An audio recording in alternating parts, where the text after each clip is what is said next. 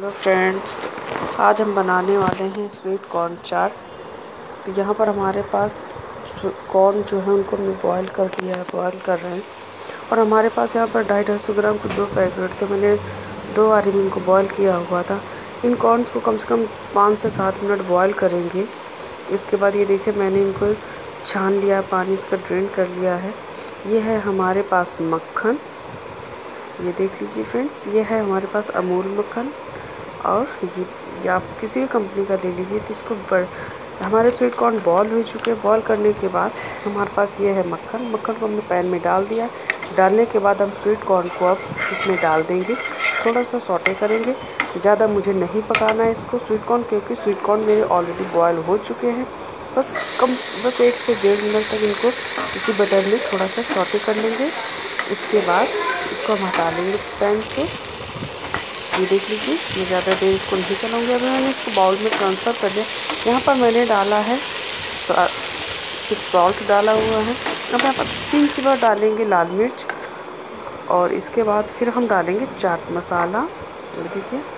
और यहाँ फ्रेंड्स एक एक चीज़ और बता दें, ये जो स्वीट कॉर्न हम सिर्फ़ बच्चों के लिए बना रहे हैं, इसको देखा नहीं बनाएँगे। यहाँ पर हमने डाल दिया नींबू डाला हुआ है, थोड़ा सा। और इसके बाद इसको अच्छे से मिला लेंगे। इसमें और कुछ भी नहीं डालेंगे, सिर्फ़ हरा धनिया डालेंगे। इतनी ही चीज़ मैं डालूँगी इसमें, क्योंकि मेरे बच्चों को खाना है, इसलिए मैं ज़्यादा तीखा चटपटा नहीं बनाऊँगी, वरना बच्चे नहीं खाएँगे।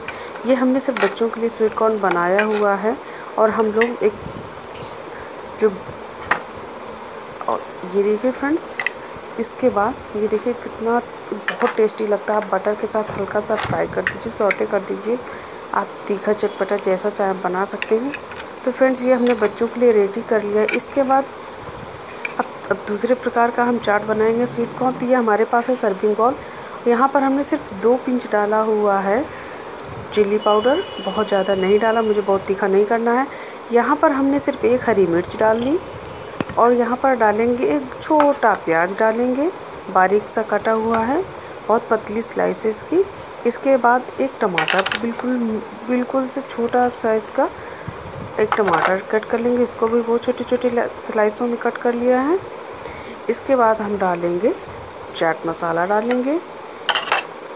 चाट मसाला डालने के बाद फिर हम नमक स्प्रिंकल कर लेंगे, ये नमक डाल लेंगे। और फ्रेंड्स आप बहुत ही स्वीट कॉर्न बहुत ही ईजी ढंग से और बहुत ही जल्दी बन जाती है। अगर आपके घर कोई गेस्ट आए हुए हैं हुए हैं तो आपके पास स्वीट कॉर्न अगर फ्रिज में पड़ा हुआ है तो आप जल्दी से बना सकते हैं। अगर बच्चों के लिए बनाना है तो आप सादा सिंपल सिर्फ़ चाट मसाले लेमन जूस और हरी धनिया ही डालें। मिर्च को स्किप कर दीजिए। और यहाँ पर अगर आप बड़े लोगों के लिए बनाना है तो आप इस तरीके से भी बना सकते हैं। कि प्याज, टमाटर, धनिया, हरी मिर्च सभी चीज़ों का यूज़ कर सकते हैं। ये हो गया हम, दो प्रकार का हमारा स्वीट कॉर्न चाट हो गया। और फ्रेंड्स एक तीसरे प्रकार का हरी चने का चाट मैं बनाने जा रही हूँ। तो ये यहाँ पर मैंने पैन में बटर गर्म कर लिया। यहाँ पर हमने आधा प्याज डाल दिया। पतली स्लाइस में एक हरी मिर्च को हमने डाला हुआ है। हल्का सा सौटे करेंगे यहाँ पर। फ्लेम को बिल्कुल ही लो रखेंगे। और इसके बाद यहाँ पर मेरे पास, जैसे मैंने स्वीट कॉर्न बॉयल किया हुआ था, वैसे ही हम डाल अपने चनों को बॉईल कर लेंगे। और बॉईल करने के बाद ही मैंने पहले से इनको बॉईल करके रखा हुआ था। ये देख लीजिए, यहाँ पर मैंने हरी, हरे चनों को डाल दिया है। ये यहाँ पर हम डालेंगे छोट सॉरी चाट मसाले डाल देंगे। ये हल्का सा नमक डालेंगे ये देखिए, इसके बाद मैं हल्का सा चलाऊँगी। मुझे बहुत नहीं पकाना है। बस हल्का सा सॉफ्ट हो जाए। ज़्यादा पका देंगे तो बहुत सिंक होने लगेगा। मुझे वैसा नहीं चाहिए। यहाँ पर नमक भी ऐड कर दिया। नमक ऐड करने के बाद इसको बस आधा एक आधा मिनट और पकाएँगे। यहाँ पर लेमन जूस ऐड कर दिया फ्रेंड्स ये देख लीजिए।